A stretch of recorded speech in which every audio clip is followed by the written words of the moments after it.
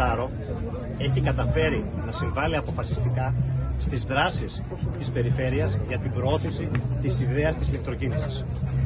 Η ηλεκτροκίνηση έχει μπει πλέον δυναμικά στην καθημερινή λειτουργία της αυτοδιοίκησης αλλά και στην καθημερινότητα της πόλης.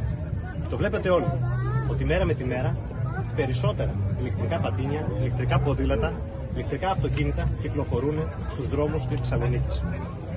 Αυτή είναι η απόδειξη ότι τα μηνύματα που υπέμπει σταθερά το Βολτάρο τα πέντε τελευταία χρόνια για την αλλαγή της νοοτροπίας και των συνηθιών έχουν ισχυρή απήχηση στους πολίτες της Θεσσαλονίκης.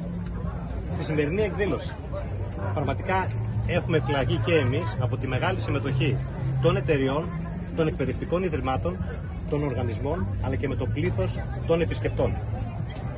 Θα ήθελα όμως να ευχαριστώ πάρα πολύ για την παρουσία εδώ σήμερα και τον Υπουργό και τον Δήμο Θεσσαλονίκης, φυσικά τον Περιφερειάρχη μας, την Περιφερειάρχη και τους δύο γενικούς γραμματείς που ήρθαν αποκλειστικά για τον Βολτάρο στη Θεσσαλονίκη, την κυρία Σδούκου, Γενική Γραμματέα Ενέργειας και τον κύριο Ξηφαρά, Γενικό Γραμματέα Μεταφορών, που είναι άλλη μία απόδειξη των προσπαθειών που κάνουμε έτσι ώστε να κάνουμε όλοι μαζί τις πόλεις μας πιο όμορφες, πιο έξυπνες και πιο φιλικές. Ευχαριστώ.